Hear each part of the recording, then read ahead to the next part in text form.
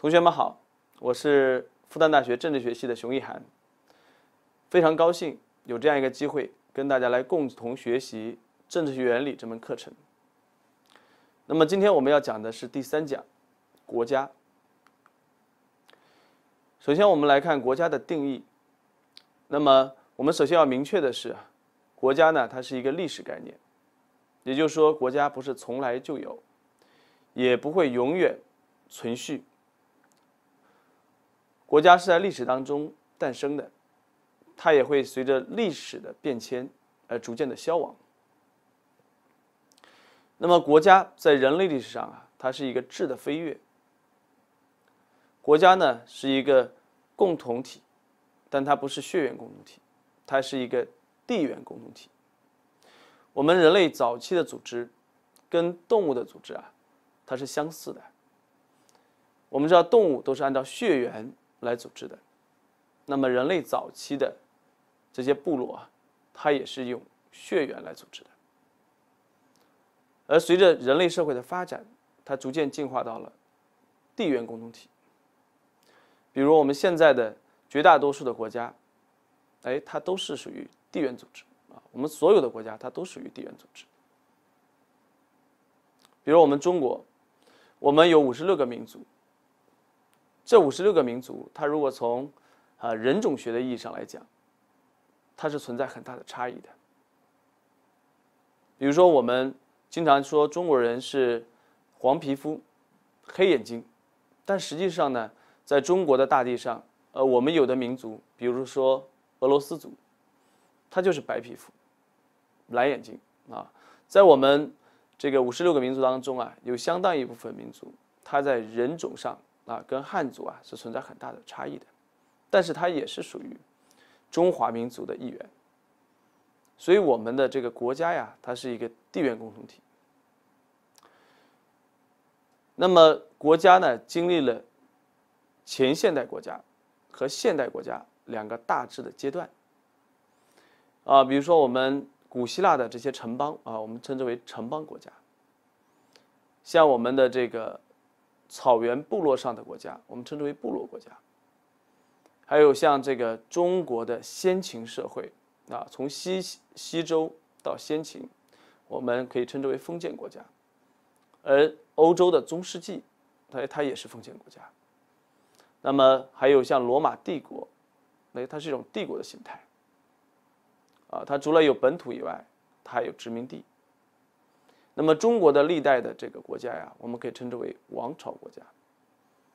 而我们自西近代以来啊所形成的啊，我们称之为现代国家，也可以叫它民族国家。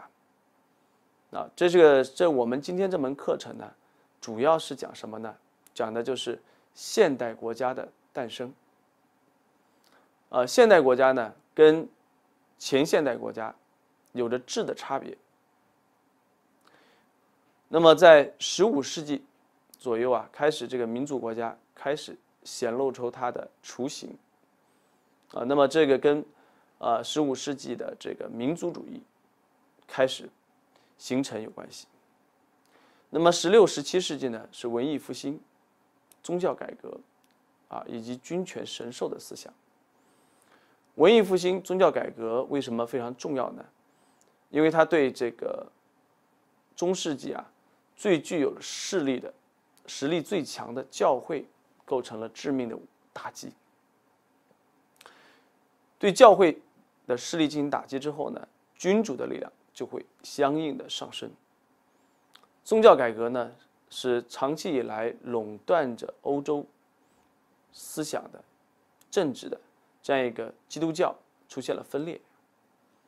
那么，从而呢，使君主的势力呢得到了大幅度的提升。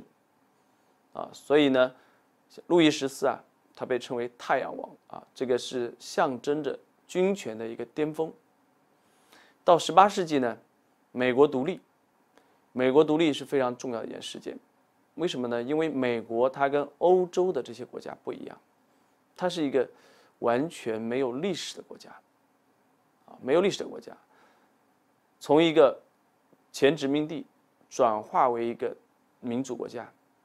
而这个国家呢，又恰恰是由来自全世界各国的移民所组成的，哎，所以它更好的代表了什么呢？我们现代国家的一些特征啊，所以我们后面会讲到这个民族主义啊，他所说的民族跟我们一般意义上的族群它是不一样的啊。美国就是很典型的美利坚民族啊，它不是一个人种学意义上、血缘意义上的民族。而是一个国族。十九世纪呢，非常重要的一个事件就是意大利德意志的统一。那么，意大利德意志呢，过去呢是长期的处于分裂状态，这就是延续了中世纪的那种分裂的状态。那么后来这两个国家走向了统一。那么像日本的明治维新也是非常重要的一个事件，啊，这是亚洲地区第一个。实现了从前现代国家向现代国家转变的这样一个国家。那么到了二十世纪啊，非常重要的就是苏联、中华人民共和国啊这两个社会主义国家的崛起。那么还有一个事件呢，就是欧盟。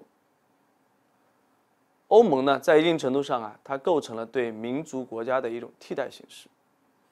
啊，我们讲民族国家，我们后面会说民族国家呢，它对于现代的这个国家体系来说，它是一个最高的利益单位、利益单元。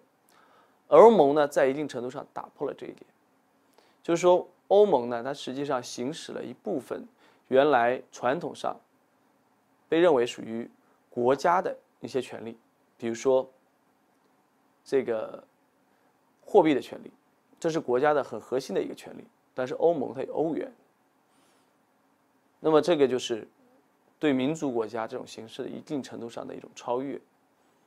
那么欧盟成员国的立法权呢，在一定程度上也被欧盟进行了分享。所以呢，这是一个啊，对于现代国家发展啊，是一个非常重要的一个事件。当然，我们也看到了反复啊，就是英国的脱欧啊，这在一定程度上说明我们的民族国家呀，依然是。当今世界最重要的一个政治单位、政治单元，即便是欧盟这样一个对于这个民族国家带有一定超越性质的超国家联合体啊，它实际上呢，也还是以民族国家为底色的啊，民族国家的利益啊是超越其他的所有的政治单位的。那么我们今天要讲的这个现代民族国家的形成啊。有一个非常重要的一个起点，这个历史起点就是欧洲的中世纪。我们知道，在欧洲的中世纪，它的这个政治体制啊，跟我们中国的先秦时期，它是有一定的相似性的，就是封建主义。那么，封建主义呢，是一个政治性的组织方式啊，它是一种政府组织形式，就是说，一对军事领袖。他们垄断了政治权利，但是队员之间的权力分配呢又相对的平等，这是什么意思呢？就是说君主和贵族之间的权地位啊，它是相对平等的。君主跟我们中国历史上的皇帝，它有本质的区别啊，有非常大的区别。我们中国的这个君主制啊，我们讲君君臣臣父父子子。君要臣死，臣不得不死。这是中国的这样一种皇帝制度，它是中央集权的。而西欧的这个国这个封建主义啊，它是高度分权的。君主相对于贵族来说，他不是一个父亲的地位，他至多只能说是一个兄长的地位，一个长兄。但是兄弟之间的权利啊，是相对平等的。不像父子之间的权力结构是相对不平等的。那么在封建主义当中，它有一个非常重要的原则，就是我的附庸的附庸不是我的附庸，我的领主的领主不是我的领主。啊，这个原则啊至关重要。什么意思呢？就是说，啊，如果说我是一个公爵，我是国王的附庸。我这个公爵下面呢还有侯爵，有男爵。这些侯爵和男爵呢，他是我的附庸，是公爵的附庸，他并不是国王的附庸。那如果说公爵跟国王发生了战争，下面的这些侯爵和男爵应该站在谁这一边呢？他应该站在自己的领主，也就是公爵这一边，跟国王作战。所以这样一来的话呢，我们就看到国王的权力啊，实际上是非常弱的。他相对于大的贵族而言，他只有微弱的优势。那么我们看这段阿拉贡贵族对新国王的誓言，就非常的明显了。和你一样优秀的我们，向不比我们优秀的你发誓，这句话很气人，对吧？重要的事情说三遍，是吧？就我和你，我们是跟你一样的啊！你不要以为你是凌驾于我们之上的，啊，我们接受你为我们的国王，但是呢，至高的上帝规定你要遵守我们所有的法律和法规，如果你不遵守的话呢，我们就不接受你为国王。也就是说。贵族对国王的忠诚啊，他是有条件的，不是无条件的。啊，不是像中国历史上的皇帝和臣子之间，君要臣死，臣不得不死。他们这地地位啊，更多的是一种契约关系，虽然包含了一定的不平等，但这种不平等是相对微弱的。贵族要求国王履行对他们的协议。啊，有条件的保留对国王的忠诚和支持。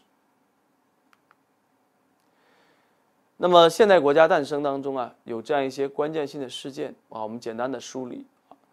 首先呢，是十四这个文艺复兴。文艺复兴为什么重要？我们前面讲，它主要是冲击了教会的势力。那么过去呢，在中世纪呢，教会是欧洲最大的。地主，啊，拥有欧洲最大的版图。啊，教皇呢是凌驾于所有的世俗君主之上的。虽然说呢，这个世俗事务是属于国王的，但实际上我们知道，这个宗教事务和世俗世界要截然两分是非常困难的。所以教会呢，实际上拥有非常大的世俗权利。十五世纪中叶啊。出现了一个非常重要的事件，就是突厥的入侵。突厥人的入侵呢，把大炮、火药传入了欧洲。那么这个事情为什么重要呢？因为大炮首先损害的是谁的利益啊？大炮损害的是贵族的利益。呃，在中世纪呢，国王实际上有两个主要的敌人，一个是教会，这是国王上面的敌人。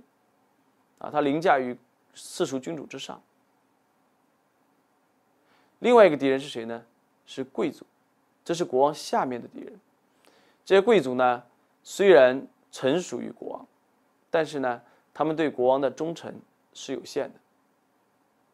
呃，经常还会因为一些征税或者其他的一些事务，跟君主发生冲突。所以呢，这个大炮传入欧洲之后啊，这样一种新的技术啊，我们要知道，所有的新技术它都是非常的昂贵啊，很费钱。那谁最有钱呢？国王最有钱。所以国王跟贵族相比啊，他更有可能采用大炮这种新技术。而大炮对谁不利呢？对城堡不利。啊，在冷兵器时代，城堡是易守难攻。啊，你要攻破一座一座城堡啊，这个成本非常的高昂。但是到了大炮的时代，这个城堡很容易被攻陷，城堡容易被攻陷，而国王容易掌握大炮的技术，啊，拥有最多的大炮，所以国王相对于贵族的优势啊，它就逐渐的显现。也大概在同一个时期啊，古腾堡发明了活字印刷术。活字印刷术非常的重要，因为它带来了什么呢？带来了识字率的提高。识字率的提高啊，首先冲击的是谁呢？冲击的是教师。因为我们知道，这个在欧洲历史上，印刷术得到最大的这个发展的一个推动力啊，实际上是这个印刷圣经。那么在西方基本上人手一册，是吧？那么圣经呢，过去主要是用羊皮纸写的，而羊皮纸呢是非常的昂贵，价格很高，所以它是被极少数人使用的，比如说啊贵族，比如说教士，那么这个就导致了垄断，知识的垄断和对信仰的垄断。那么谁才能够去解释宗教的教义呢？谁才能够跟上帝进行沟通呢？只有教会，只有教士。但是随着印刷术的普及，那么这个对于新教的传播，啊，新教在它早期啊也是一种异端，啊，相对于传统的基督教教义，哎，它就是一个异端。那么这样的话呢，新教的传播是伴随着印刷术的发展，哎，大家都可以去直接读圣经。哎，大家都可以直接跟上帝沟通，而不需要以教会和教士作为中介，作为中间人。那么这样的话呢，新教的发展啊，它对于教会的力量也是一个非常大的打击。那么当然，顺带的一个后果，它提高了欧洲的理性化的水平。啊，因为在整个中世纪啊。欧洲的这个理性化的水平、知识的水平，是要低于古希腊时期的，低于古罗马时期的。但是到了这个近代，逐渐的现代的这个啊这个科学开始得到发展，那么这个跟识字率有很大的一个关系。所以印刷术啊，它大大的推动了近代欧洲的这样一种识字率的提高、文化水平的提高。那么。降低了蒙昧的程度，提高了人的这种精神的这种状态。另外一个很重要的事件呢，就是在十五世纪，葡萄牙人环游非洲，然后呢，后来又发现了新大陆，开启了大西洋贸易。呃，大西洋贸易我们后面会讲，它非常的重要，因为大西洋贸易它对于资本主义的兴起至关重要。因为它带来了原材料，带来了资本，带来了海外市场，而这些呢，都推动了欧洲的这个工业啊，从传统的这种手工业向机器生产转变。另外一个重要的事件呢，就是意大利的修士啊，他发明了会计学，就是复式记账啊。我们大家知道，现在我们这个发票啊，我们的这种记账都是一式几份。都有几联，那这个呢就是会计学，会计学大大的促进了信用，促进了资本的发展。啊，我们过去呢这个，因为我们不能够一手交钱一手交货，那么这种交易的凭证啊是非常重要的。会计学的发展，它推动了资本主义的发展。十六世纪初期，路德创建了新教啊，那么这个新教的发展。它有一个前期的一个铺垫是什么？印刷术啊，那么所以这个时候圣经啊就可以大规模的进行传播啊，用低廉的价格进行传播，穷人也能拥有圣经啊，所以新教呢，它对这个传统的基督教构成了一个非常严重的冲击。那么新教啊或者叫基督教啊和天主教之间啊，它就出现了分裂，而这个给国王带来机会啊。这就是宗教战争啊！宗教战争实际上呢，它也推动了世俗化。为什么呢？因为想我们只有一个神的时候啊，它是高度的神圣化的一个社会，神学化的一个社会。哎，当我们有不同的教育的时候，这个时候就为世俗化提供了空间。宗教它慢慢的呢被关进了笼子，那就它变成了一个只关注精神领域的啊。这样一个宗教，那也就是说政教分离创造了条件啊。如果我们只有一个宗教，那么政教很难分离。就当存在多个宗教的时候啊，哎，这个政教分离它就具备条件了。那么在十七世纪还有非常重要的事情，的三十年战争啊。那么欧洲呢，这种连绵不绝的战争啊，它使国家不断的强化自己的行政管理能力，强化官僚制的建设，不断的进行财政改革。这些改革呢，都是使国家的能力变得更强了，从而呢，能够更加有效的去控制地方，啊，控制贵族。那么在这个战争当中，那些弱的国家，它基本上都消亡了，而只有强的国家，中央集权的国家，它才能够生存下去。所以这个呢，就奠定了现代国家的基本的制度形式。呃，这里面有这个，呃，两幅油画啊，是我们现代国家形成过程当中两个关键性的人物。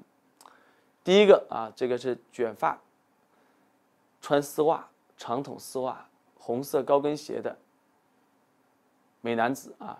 其实我们现在这个女性啊，所钟爱的一些东西，比如说丝袜、高跟鞋、烫发啊，这些事情呢，都是男性最开始玩的啊，都是男人玩剩下的。这个卷发型男呢，就是路易十四。他宣称政绩国家啊，我就是国家。那么这个呢，这种观念实际上就我们后来称之为绝对主义国家。绝对主义国家呢，实际上对是对这个欧洲中世纪以来的这种封建国家的一种反动啊，君主的权力啊达到前所未有的高度。哎，为什么说政绩国家对于现代民族国家的发展至关重要呢？因为国家的权力啊，从贵族向国王集中，这实际上是一个非常重要的进步。就是国王在那个阶段，他就相当于国家的肉身，国家的肉体啊。那么，当国王的人头被砍下来的时候啊，这个权利就属于谁呢？这个主权就属于人民。属于抽象的国家，属于抽象的人民。那么，这就是现代的国家观念。啊，实际上，在这个法国、在英国，都经历了这样一个过程啊，就是国王的这个肉身啊被砍下来，或者是虚拟的啊。当国王变成虚位元首，国王变成虚君的时候，实际上这个国家的权力啊，主权就转移到了人民身上。所以，绝对主义国家相对于封建国家，它是一种进步。呃，另外一个人呢，就大家非常熟悉的拿破仑啊。呃，拿破仑的这个也是一个非常重要的一个人物啊，在这个现代国家形成当中，扮演了非常重要的角色。就是拿破仑的这一系列的战争，实际上呢，使得这个欧洲的。民族主义啊，得到了大范围的传播。在这些战争之前，实际上老百姓啊，国家观念它是很弱的，他可能更多的只是认为我是一个巴黎人，啊，我是一个马赛人，啊，或者我是一个天主教徒，我是一个基督徒。他的国家观念是淡薄的，但是随着国与国之间的战争的爆发，哎，他这种观念啊。逐渐的形成。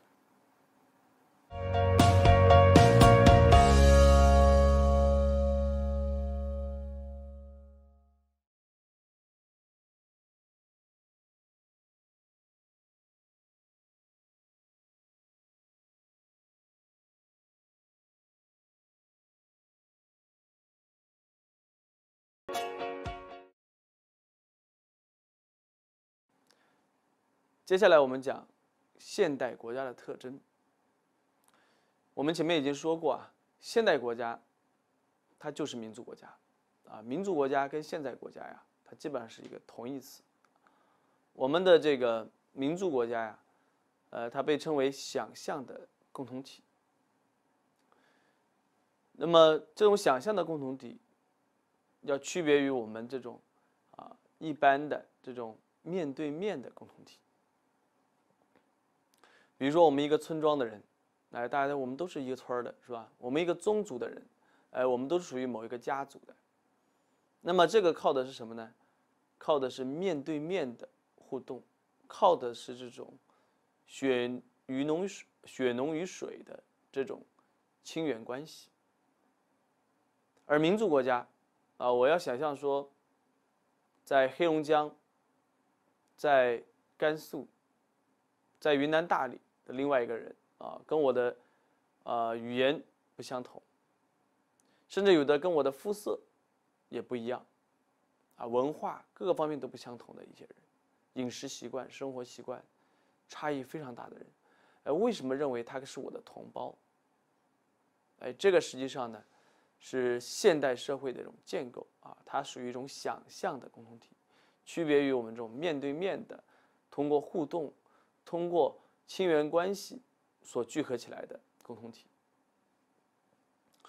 那么这个呢，大概可以从十五世纪开始，但是一直到了十九世纪下半叶啊，民族国家它才成为主要的一种力量。那么一个标志性的事件呢，就是意大利和德意志的统一。那么民族啊，它首先是着意味着一种合适的期待。那么这种期待来源于一个群体在面对其他群体的时候啊，它的一种特殊的团结感。啊，我们说民族主义，它很大程度上啊，这种边界它是需要去激活的。什么情况下民族主义这种边界可能被激活呢？存在外部敌人的时候。啊，这个大家应该很容易理解啊。应该很容易理解。当我们面对外部威胁的时候啊，我们这种共同体的意识它就会增强。而我们这里特别需要提醒大家的是，我们这里讲的这个民族啊，是一种国族，是 nation 啊，它不区别于我们通常讲的呃族群啊，比如说我们讲汉族、维吾尔族、苗族，它实际上是族群。呃，这个这些族群在一起共同构成了中华民族。呃，我们中国人到了移民到了美国，呃，他如果加入了美国籍，那么他也就变成了美利坚民族的一员。那么这一点呢，我们大家在一个全球化的时代可能会感受越来越强烈。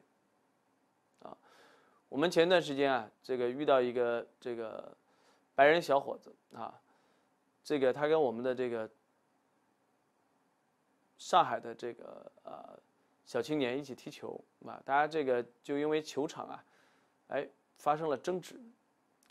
哎，这个小伙子啊，明明看起来是个白人啊，他最后急了啊，他用一口流利的这个上海话说啊，这个我也是中国人啊，哎，因为他这个他是一个混血儿啊，他就是虽然你看起来他是个白人啊，哎，他就是从小生活在中国，哎，他觉得自己也是一个中华中国人。哎，你看我们这个中华民族啊。他是不是一个超越了族群的这样一个国族啊？它不是一个人种学意义上的民族，它是一个国族，包含了很多的族群。那么民族和国家有什么区别？那么民族呢？我们说它没有官员，也没有明确的领导职务，啊，它只是有这个民族运动的这样一种情感代言人。而且呢，民族成员的这种资格啊，也没有明确的规定，也没有明确的权利和义务。但是国家的这个公民啊，他是有明确的权利和义务的啊，他是有组织的啊。那么这个民族主义的发展啊，实际上是跟战争密切联系在一起。比如说，我们大家如果看过《圣女贞德》啊这个影片，那就知道这个圣女贞德，哎，这个英国人、法国人的这种长期的战争。这种战争啊，催生了法国的民族主义。而在此之前呢，哎，法国人他可能更多的是作为一个地方上的居民，或者某一个宗教的信徒而存在，他没有这样一种法兰西的意识。战争加剧了民族主义的萌芽和发展。啊，比如我们看这个马赛曲啊，呃，武装起来同胞啊，这是想象的共同体，对吧？然后呢，还要有我的敌人啊，敌人的脏血将灌溉我们的田地，哎，所以民族主义呢，它包含了一种，啊，非我族类，其心必异的，啊，这样一种观念，哎，它有一种，哎，它实际上是要有一种外部敌人啊，要有敌人的存在，哎，这种民族主义它才会被激发出来。那么现代国家的第二个特征，主权意识。我们这个封建国家，它的这个领土啊，是因为过度分割而分化的。那么领土之间的关系是疏离的，权力是分散的。而现代国家的领土啊，是统一和同治的。这一点呢，跟我们原前现代国家、跟封建国家是很不一样的。啊，我们这个像欧洲的这样一种封建国家，哎，贵族的这种领土、领地，它实际上每个领地呢，哎，比如说公爵的。侯爵的、伯爵的领地，哎，它这个不需要跟国家国王的这种法律完全保持一致的，他有自己的地方性的一些司法系统。然后呢，他的很多的这个管理啊，行政管理跟国家的行政管理它是不一样的，哎，他不需要完全听命于中央，啊，是一个非常分化的一个体系。那么我们中国历史上的这个王朝国家也一样的。虽然它有中央集权，但是它领土内部的这种差异关系都是疏离的，权力是分散的。呃，这个对于我们中国现代版图贡献非常大的一个朝代就是清王朝。那么在清王朝呢，哎，我们知道它的这个有两个首都啊，一个首都在北京，一个首都呢在承德。那么为什么有两个首两个首都呢？呃，因为他的这个君主啊，有两个不同的身份啊。他在北京呢是汉人的皇帝，他在承德呢，他是蒙古人、维吾尔人、藏人的可汗。所以他这个在不同的这个领土啊，他实行的原则、统治原则是不一样的。比如说汉人的这些领土，它是行省制度。啊，是高度中央集权的，啊，这些督府啊都是由中央任命的，必须听命于中央。而在这个蒙古，它很大程度上是种部落国家，啊，是部落，权力是很分散的，分散在这些蒙古王爷手上。而这个跟藏族的这种联这个联系啊，是通过这个藏传佛教啊，这个通过藏传佛教把它联系在一起。哎，所以它在不同的地方，它行使的是不同的原则。那在有一些地方，哎，可能还有土司制度。而在现代国家，那比如我们当代的中国，我们虽然有一国两制，啊，虽然我们有民族区域自治制度这样一些制度安排，但是本质上我们的领土啊是统一和统治的，中央的权威是一样的。第三个，中央集权。中央集权呢，这里面有几个很重要的因素啊，职业军人、常备军啊。那么我们知道，军队是非常昂贵的，啊，要养常备军啊，这对国力是有要求的啊。我们后面会讲到，在现代国家形成当中啊，这个常备军是一个非常重要的一个制度安排。官僚制，官僚制呢，它是跟贵族的这种领土领主制啊相矛盾的。啊，这个官僚制呢是更多的听命于中央，是中央集权的一个工具，而领主制呢，它是独立于中央权威之外的，啊，它有相对高的独立性和自主性。那么再就是通过财政改革来垄断税收的来源。啊，以前的这个中央啊，这个县中央的这个税收啊，国家的税收它是非常分散的，比如法国在很长一段时间里面，它是通过包税人。来征税的，那么这样一种征税的方式啊，就是税收的损耗非常的大，中央最终能够收上来的税它是有限的，啊，大量的这个税收在征收的过程当中流失了啊，那么最后一个呢，就是统一的这个法律系统，啊，就是各个领主他的这个法律啊都被废除了，只有中央的这样一个统一的法律系统。那么这样的话呢，就使得这种离心的一种封建式的统治，它会转化为向心的国家式的统治。第四个特征呢，是垄断强制手段，啊，用马克思韦伯的话来说呢，就是暴力的合法垄断。那么我们在前现代国家里头，这种暴力啊，它是无法做到垄断的。比如说，在这个欧洲历史上，那这个除了这个国王拥有暴力以外，国家拥有暴力以外，领主也拥有暴力，合法的啊，拥有这些暴力啊，领主还可以跟中央啊，跟君主进行对抗。那么教会也拥有一定程度的暴力，啊，有很多组织来分享暴力，而在现代国家，哎，它是不允许国家之外的其他的组织来拥有暴力的。那我们中国历史上甚至说。啊，这个祠堂啊，也有宗族啊，他也可以有暴力的。啊，有些地方甚至拥有私兵啊，我私人的小小武装，哎，这些呢，在现代国家它都被废除了。现代国家不允许血亲复仇，哎，它禁止国家之外的其他组织合法的拥有暴力。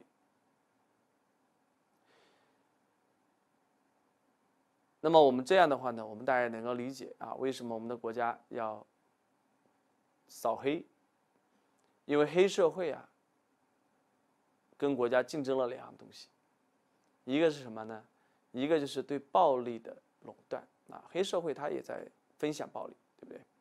第二个呢，就是黑社会它也在分享税收，啊，它是跟国家在竞争税收啊，竞争对暴力的合法垄断。啊，所以一个这个健全的国家，它是不允许黑社会的存在的。最后一点呢，就是新的国际秩序，就是现代外交啊。我们现代外交的体系呢，它是所有国家无分大小啊，它都是一律平等的。而我们在前现代国家，呃，国和国之间在形式上它并不平等啊，比如说。朝贡制度，哎，它形式上它就不平等，那你必须向我称臣啊，然后我们才能够有朝贡的贸易。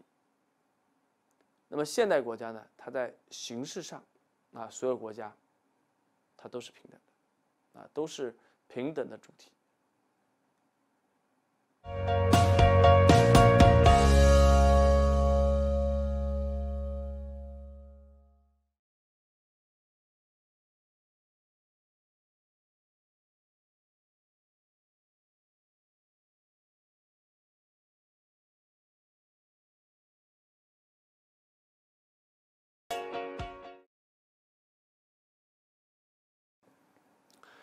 接下来我们讲民族国家形成的原因。民族国家形成的原因有好几个啊，最重要的，我们学术界现在公认的最重要的就是战争。战争是现代国家形成的一个主要的决定因素。那在这个欧洲的进入重近代以来啊，它的这个战争是非常的频繁的。那么战争经历了这么几个阶段啊，早期。是骑士战争。骑士有两个身份啊，他是既是战士，他又是地主。那么骑士呢，也构成了封建制度的一个基石。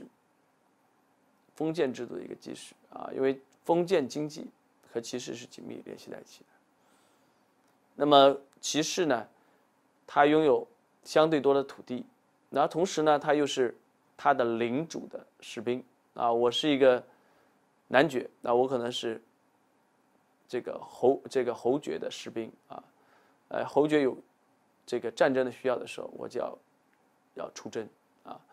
我是侯爵，我可能是国王的士兵，那国王有需要的时候，我需要为国王提供军事服务，还需要为国王提供什么呢？财政服务啊，就是要征收税款上交国家。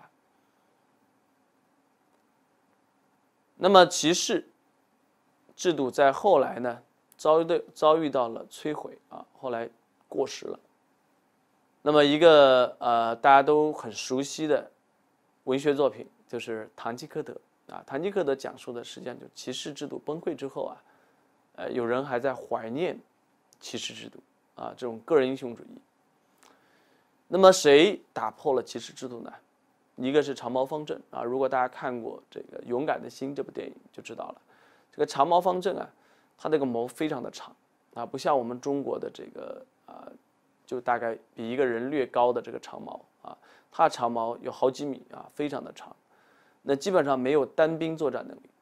就是你如果一个人拿这个长矛，它没有任何的威力啊，它靠的是方阵，啊，当长矛方阵的时候呢，哎，组成长矛方阵的时候啊，它可以抵挡骑兵的攻击，啊，就你的马匹马上就会被它这个征服掉。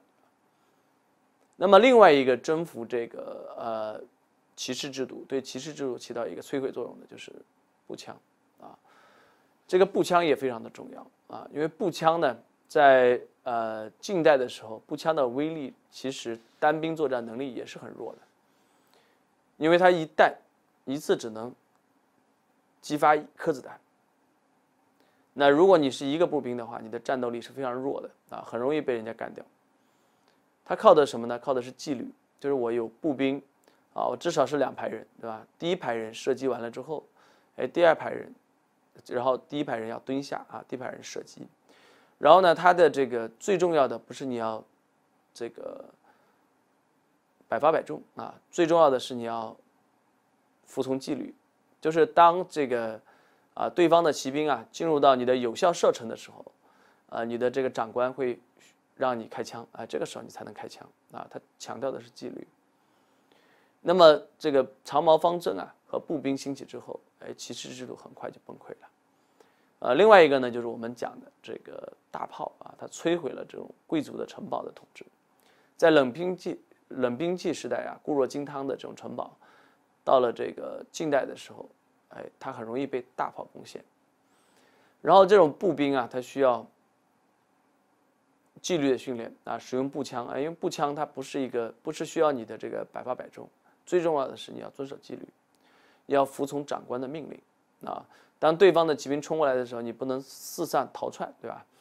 哎，当这个对方进入没有进入有效射程的时候，你不能够提前开枪，对吧？那这样的话呢，这种就这个对士兵的这种训练啊，它就催生了什么呢？催生了这种专业化的军队，催生了这种官僚行政模式、集权化的行政模式。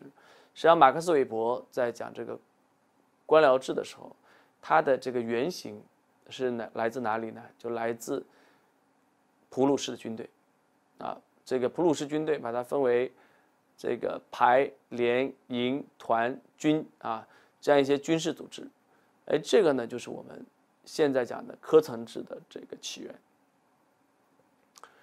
那么军事改革啊，它也要求加强国家的财政的汲取能力，迈向直接统治啊，因为我们传统的这种。军队啊，和这个现代的这种常备军制度啊，它还是有很大的一个差别。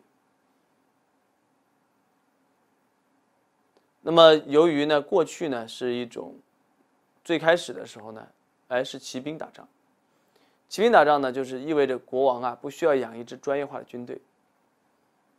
哎，道理很简单，因为这些骑士啊都是。主业是农民啊，是这个领主啊，庄园主，而他的这个副业才是骑骑士。那么这个骑士打仗呢，会有一个问题：第一，它的规模很小，因为它都是贵族作战啊，贵族的规模本来就小；第二个呢，这些贵族的战斗力参差不齐啊，有的可能武力值很高，有的可能贪生怕死，武力值很弱；第三个，骑士呢。他们都非常的注重荣誉，强调自己跟国王之间的相对平等的地位，所以呢，骑士他比较难指挥，啊，战斗力不够整齐划一，啊，纪律性不够强，那么这个使得这个骑兵作战啊，它的这个效率是比较低的，它有效作战范围比较短啊，你想想看，一匹马，啊，要载着主人啊，还要驮着干粮，对吧？所以它作战距离是非常短的。规模也是比较小的，那么发展到后来呢，就出现了这个雇佣军啊，雇佣军呢，比如说像这个啊，欧洲的瑞士啊，就盛产雇佣兵啊，雇佣兵作战，它大大的提高它的战斗力，但是它也带来一个问题，就是你很难保证忠诚度，哎，因为它是为钱而作战，哎，所以忠诚度无法得到保障。那么它发展到后来呢，常规军作战啊，国王就要养兵了，哎，养兵千日，用兵一时。那这个养兵的成本非常高啊，所以它就催生了国家对于财政的需求。而养兵呢，就需要有专业化的军队，所以要征兵、征税。那么这个都提升了国家能力啊，国家对社会进行汲取。那么当国家提高了对社会的汲取的时候呢，它就会在国家和社会关系之间啊，要形成新的契约啊，不然我为什么要为你作战呢？呃，我为什么要这个冒着生命危险呢去保卫这个国家呢？这个国家跟我有什么关系呢？所以常规军它还是面临一个问题。还没有解决怕死的问题，于是呢，进入下一个阶段就是民族战争，哎，就是我为国家而战，我不是为国王而战，我是为国家而战，啊，民族主义，民族战争，哎，民族战争的兴起啊，它必然有个前提，就是国家和社会之间要达成新的契约，哎，你看我又要出人，冒着生命危险去当兵。哎，你还要我出更多的税，那么这个都需要对社会和国家之间形成新的契约，所以呢，这个公民权啊就开始逐渐的扩散，啊，原来呢只有很少的人当兵，也只有很少的人拥有投票的权利，后来慢慢哎这种权利就开始扩张了，呃，我们在这个呃后来在大家在这个这个关于民主化的这样一些课程里头啊，也会接触到相关的这样一些内容。第二个呢，就是资本主义，是现代国家崛起的必要非充分条件。啊，就资本主义对于现代国家发展，那具有非常重要的一个推动作用。我们知道，这个农业它的剩余是非常有限的，而资本主义呢，它才能够提供给国家足够多的财力保证。而战争当中啊，它对财力的需求是非常高的。那么资本主义呢？也产生了新的需求，就是资本主义偏好大的国家、大的市场，而传统的这些贵族封建体制啊，哎，他把国家分割为一小块一小块，这对于统一的大市场是非常不利的。所以资本主义呢，它的发展，它天然的需要更大的国家边界、更大的国家疆域。那么，随着这个文艺复兴啊，这个这个发展啊，印刷术的发展啊，这些都推动了资本主义的发展啊。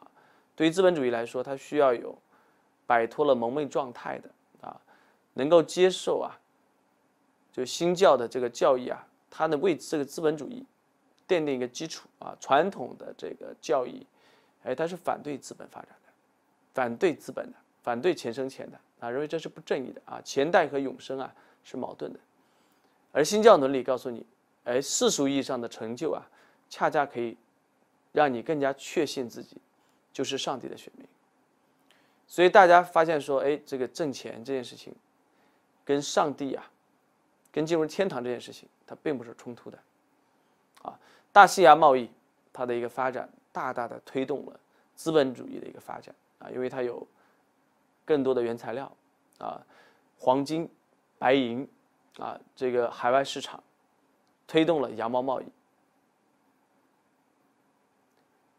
那么，这个大机器生产的时代啊，就到来了。然后，庄园经济呢，在这个过程当中逐渐的崩溃，资本主义经济啊，这个迅猛的发展。第三个呢，就是封建贵族的示威。这个我们后面要详细讲啊，封建贵族的思维。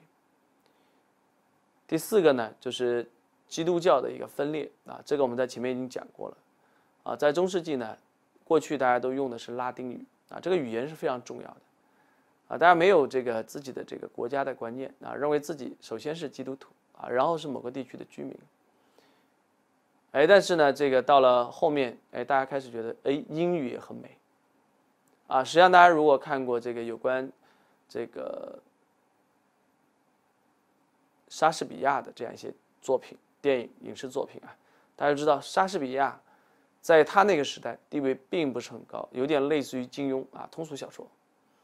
因为早期的这些文学作品都是拉丁语写的，大家觉得英语很粗鄙。等到英国人觉得英语很美的时候，这个时候就是民族主义上升了。等到法国人认为法语很美的时候，是世界上最美的语言的时候，这个法国的民族主义啊就上升了。基督教的是这个影响在下降啊，随着它的分裂啊，教会的力量越来越式微。啊，这样的时候，这个过程当中啊，你就会发现说，哎，国王的主要的竞争对手，一个一个被打败了，是吧？首先是这个教会的力量在衰落啊，另外一个衰落的这个竞争对手呢，就是贵族。比如大家去巴黎都会看凡尔赛宫啊，实际上凡尔赛宫啊，它就是一个王权的象征，啊，一个发散式的一个结构，对称式的一个结构，代表着中央集权。啊，我们知道这个法国啊。早期的时候呢，中世纪的这种宫廷啊，它是在各个城堡之间搬来搬去的啊，因为这个，呃，有的时候呢，这个现任的国王他没有子嗣，没有子嗣呢，就可能由他的一个血缘相对近的远亲、亲属啊、侄子啊或者外甥啊，他来继承他的王位。哎，所以城堡呢。的宫廷啊，在城堡之间搬来搬去啊，一直到十七世纪后期，宫廷才开始相对固定。那么路易十四啊，就是我们前面那位穿高跟鞋的男人啊，那么他做了一个非常重要的一个决定，就是修建凡尔赛宫。这是一个非常浩大的一个工程啊，它既象征了国王的至高无上的权力，同时它也有非常现实的一种功能，就是他把这些贵族啊。这些外省的贵族都叫：“哎，你们在这个乡下太土土里吧唧了，是吧？那你们到我们巴黎来，到时尚之都来，啊，跟我们一起共享富贵，是吧？但其实呢，就是让这些贵族啊，走入了宫廷之后呢，他们就丧失了自己的一个独立的一个领地，他再也没办法跟国王进行竞争了。同时呢，宫廷里面有非常奢华的、繁复的这种礼仪啊，比如说礼服一天要换好几套。”然后有很多的 party 啊，很多的这种仪式，那么这个呢都会导致啊，贵族的生活它越来越奢华，越来越烧钱，所以他就越来越依赖于国王啊。如果没有国王的帮助，他就很难维持他的生活。同时呢，他也脱离了他的人民。而这一点呢，对于后来的这个法国大革命有着致命的影响。就是实际上呢，我们某种程度上讲，可以是路易十四在使得法国变得中央集权的同时啊，他也坑死了自己的孙子路易十六啊。就法国的这些贵族为什么那么招人民的痛恨啊？原因很简单，因为过去贵族啊，他虽然拥有特权，但是呢，他也是跟自己的人民生活在一起的。他除了享有特权以外，他也要行使一些义务。啊，比如说，对社会进行治理，当民众有困难的时候啊，他要给予帮助，这些呢都使得他的特权变得相对合理。但是当这些贵族都集中生活在宫廷里的时候，哎，他就脱离了人民，他拥有特权却不再有义务，所以他们就越来越成为社会的寄生虫。而这就为什么后来法国的人民那么痛恨贵族啊，非常重要的原因。那么官僚制度在这个。这种这个过程当中啊，它就不断的强化，啊，通过官僚制度呢，国家可以跟社会直接进行互动，而不再需要通过贵族的这种自治权利的影响来进行互动。也就是说，它从这种间接的统治演变为直接的统治。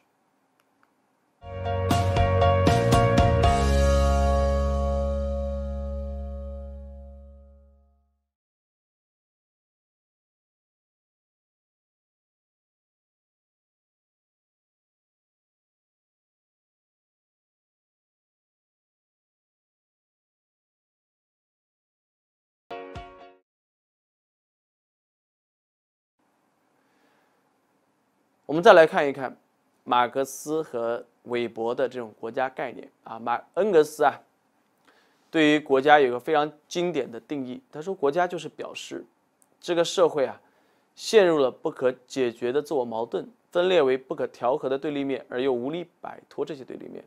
为了使这些对立面、这些经济利益相互冲突的阶级，不至于在无谓的斗争当中把自己和社会消灭，就需要有一个表面上凌驾于社会之上的力量。这个力量应该缓和冲突，把冲突保持在秩序的范围以内。这种从社会中产生但又自居于社会之上的，并且日益同社会脱离的力量，就是国家。说起来很拗口啊，但是实际上非常简单，就是国家，它是凌驾于阶级之上的。啊，它虽然代表着统治阶级的利益，但是呢，他为了让大家觉得说，让社会觉得他是一个中立的第三方，哎，他需要在形式上拥有一定的独立性。和自主性啊，相对自主性，相对独立性啊，这是马马克思主义对于国家的这个概念。那么，马克思韦伯的国家概念，实际上我们在前面已经讲过，就是他强调说，国家是唯一合法垄断了强制手段的暴力机器。就现代国家，它提供了一套秩序啊，一套行政秩序和法法律秩序。那么这套秩序呢，它本身也是以法律啊、以暴力啊作为后盾的。同时呢，国家剥夺了其他的组织、其他的个人使用暴力的权利。只有得到国家的允许、指示以后，运用暴力才是合法。啊，这是韦伯的概念。那么还有一些学者啊，他是进一步发展了这个概念啊，比如像这个查尔斯·提里啊，他强调民族国家四要素啊：领土、人口、主权、政府啊。那迈克尔曼，哎，他在这个韦伯的概念的基础上啊，他又进一步的发展了。啊，他说国家呢，他要垄断的不仅仅只是暴力，他要垄断什么呢？垄断规则制定的权利。哎，国家垄断了规则的制定，也就国家它拥有制定规则的权利，而其他组织不能够制定这种对全国人民都具有约束力的规则。那么，国家除了垄断规则制定的权利以外，它还垄断了税收。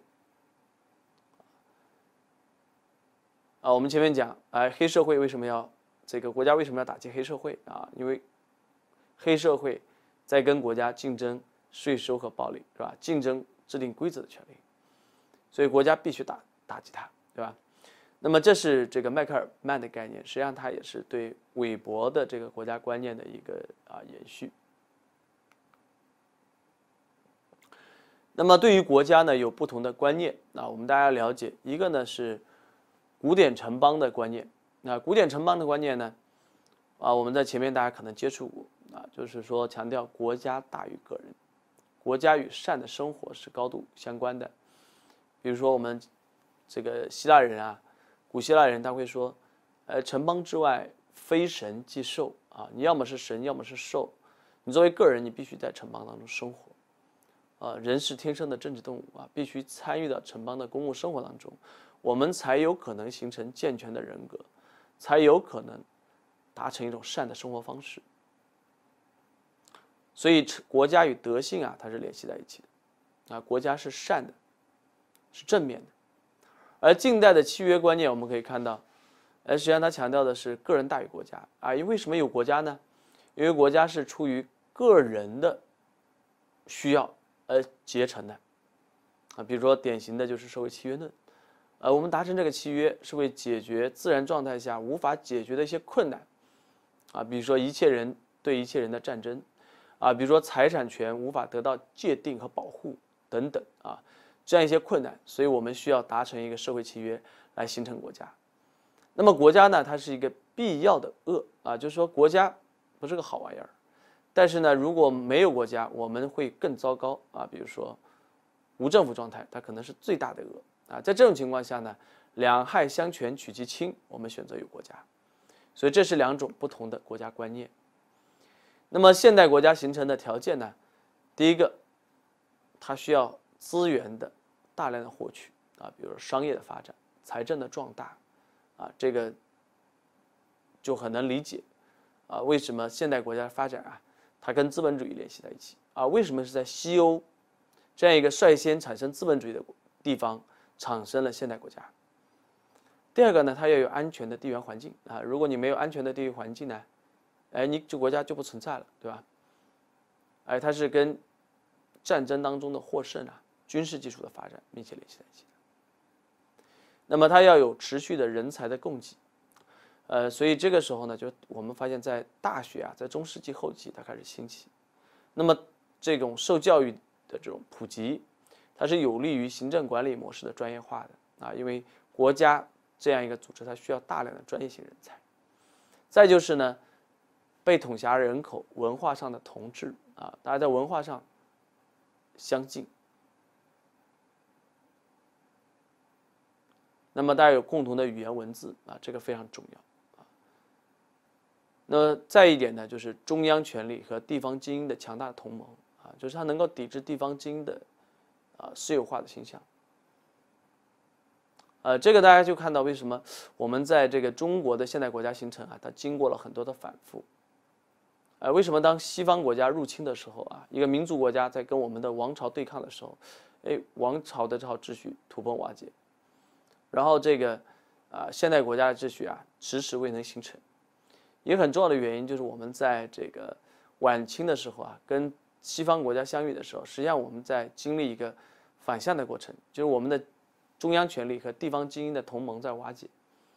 啊，一个很重要的一个事件就是地方军事化，啊，就是在这湘军、淮军兴起之后啊，这个地方啊的督府他拥有了相对独立的权利，地方有了自己的军队。哎，这对于后来晚清的这个覆灭有非常大的一个影响啊，就它的中央集权崩溃了啊，哎，这个没有办法去抵制地方精英的私有化倾向。那么现代国家的兴起啊，它是具有一些积极的意义啊，重要的意义。第一个呢，就是我们传统上是没有中央和地方之分的啊，君主和贵族之间啊，不是一个严格意义上的中央与地方的关系啊，他们更多的像一个。略有不平等的这样一个契约啊，国王略有优势而已。而这随着现代国家兴起啊，因为现代国家不管你是我们现在讲的中央集权的还是地方自治的，你相对于前现代国家，相对于封建制啊，都是中央集权的。第二个呢，就是国家的这个政治权力啊，它延伸到基层社会，因为它形成了一种直接统治，而不再依赖领主的这种间接统治。第三个呢，就是民众开始向国家提出诉求，一个很重要的诉求是选票、公民权啊，这就是民主的由来。因为老百姓要征兵啊，要打仗，要征税啊，那么我的义务增加了，那么国家能够给我什么回馈呢？国家给我什么好处呢？这个时候，民主就开始形成了，哎，福利就开始形成了。第四点。国家形成之后呢，借助国家强制力量，它进行民族建构，使得共同体地域当中的人口啊形成了统一的民族认同。这种民族认同啊，它不是与生俱来的，它不像这个父爱啊，你爱这个你的家庭啊，爱你的家族，爱你的部族，它是一种面对面的，是吧？民族国家它是一个想象的共同体，它实际上是通过教育，通过政治社会化，通过国家的力量，它形成了这种国家认同。那么再一个呢，就是兴起了个人的政治权利啊，这跟第三点是联系在一起的，就我们个人的这种相应的权利啊、义务义务、权利和义务啊，它同步的增长，使得这种个人的这种政治权利它得到得到了一个大幅度的提升。好，最后一个课后思考题就是我们大家可以想一想啊，跟西欧社会相比啊，中国的民族国家的形成它具有什么样的一个独特性？谢谢大家。